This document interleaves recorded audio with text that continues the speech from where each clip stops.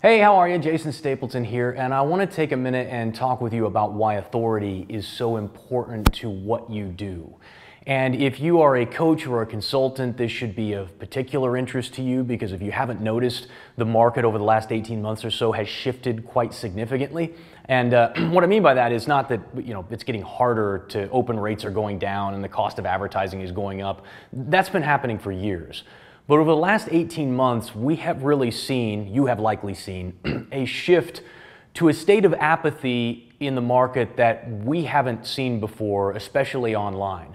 And it's my belief that there's, because we're moving out of an age of, uh, of scarcity where people had to show up, there was appointment viewing, there was a time and a date when you had to schedule, to uh, uh, you know, a, a world of abundance where we can literally get anything all the time.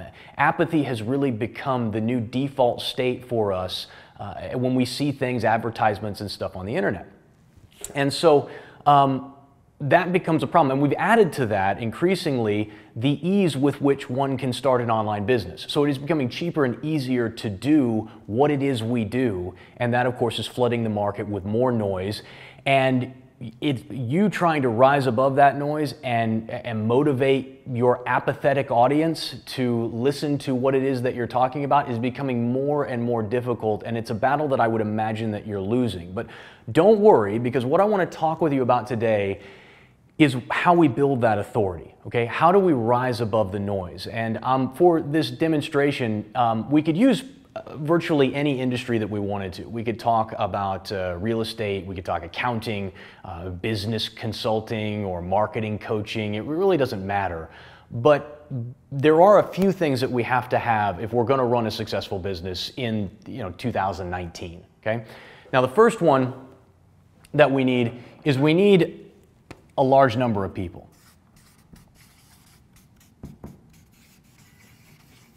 Okay? We need a large number of people. Now, th- this is not as big a deal as it used to be because it used to be uh, trying to go find a large enough pool of people in your local area became really difficult. But the advent of the internet and the way we can target people on Facebook now makes this uh, less important. But if you have chosen to niche all the way down to something like, I don't know, French Polynesian underwater basket weavers or something like that, you may find it more difficult and you may have to expand a bit. But this is definitely something that has an obstacle that has largely gone away for us. The second thing that you need, you need a large number of people who have money. Okay? This again is somewhat subjective in the sense that even if you're, say, you're running a pawn shop, well, the money that you're getting as a pawn shop owner really comes in the form of products that people are bringing to you to sell or to turn over in exchange for cash. So you are looking for people who don't have any money but who have stuff, and that stuff is really the cash versus, say, a luxury car dealer who's looking for people who have a lot of money or who have a lot of credit and who are willing to lay it down for a luxury car. So they don't need to have massive amounts of money, but they do need to have some money, at least enough to overcome the hurdle of whatever it is you're going to charge for your product or service. And then finally, this is the most important one, and this is the one people overlook the most, especially those of you in that coaching and consulting niche. They need to be, and I'm going to misspell it because I'm the product of a public education, but they need to be fanatical about what it is that you do or the, uh, or the thing that you are offering. So, one of the best examples that I can think of of a product or an industry that meets this niche is golfers. Okay, golfers, massive number of people who golf.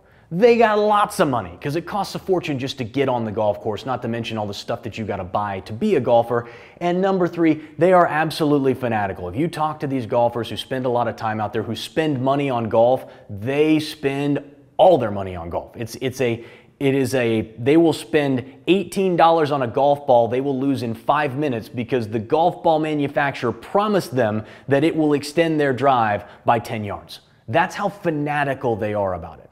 And so when you're, if you're not at a place yet where you've picked a niche, and hopefully you are, but looking for these three things is critically important. And if you have, if you have, if you have a miss, if you have, if you've missed and you've gone too narrow and you've got too tight of a segment or you haven't attacked the portion of the industry where the fanaticism is, then you need to probably look at modifying that before we look into authority building. Now, once we have those three things, we're really talking about how do we rise above. Now, I want to demonstrate why this is so important, and I got some notes here. I'm going to be using uh, financial planning as, as an example, mainly because the numbers are easy to find and it is something that I know a little bit about because I, I both worked in that industry and I've also consulted in that industry. So um, we're going to use this as an example. But in America, just in America, there are roughly 200,920 financial planners at any given time. And that number doesn't change much year over year. Um, 200,000 people all vying for the same amount of money. Now, how much money are we talking about? We're talking about a truckload of money. In fact, total investable assets in the US, $29 trillion. Now, that's everything. Every penny that Americans have invested in pension funds and 401ks and, and, and you know, prop shops and everything, stuff they're managing on their own, $29 trillion. It's a big number. Let's carve out a chunk of that. If we're a financial planner, who are we really marketing to? Well, we're marketing to people with 401ks and IRAs. And it turns out that the IRA, okay, just IRAs, account for the largest chunk at about $7.6 trillion. So we have in America 200,000 people chasing $7.6 trillion in assets. And every one of them looks the same because the government has put a lot of regulation on this industry that says, here's what you can sell, here's how you can sell it, here's what's available, and every single company has their own version of exactly the same thing. So 200,000 people chasing $7.6 trillion in assets, every one of them looks the same. If you are in this industry, you know exactly what I'm talking about.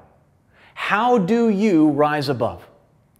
Well, prior to the age of the internet and prior to really the last 10 years or so, because the last well, five years, let's say, because things have really changed a lot in the last five years. Um, prior to that time, the way you did it was by building personal relationship. So you shook hands, you showed up at events, you handed out your business card, you, you sat down, you got a meeting with somebody and sat down with them and you explained the value of what it is that you do and you tried to get their money. Most difficult thing was trying to move somebody who already had a financial planner over to you because of the relationship that had been previously built. But that was how you built a business. And then, you know, that you, then you nurtured and cared for those people and you continued to get referral business and the business grew. But that was the way you differentiated yourself. It wasn't through product, it was through personal relationship, trust, and likability. It was through authority locally.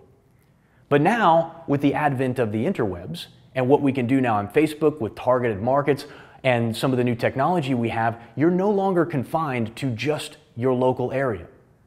See, you can now, my accountant, for example, doesn't live in California. Neither does my real estate agent. Neither does uh, my investment advisor.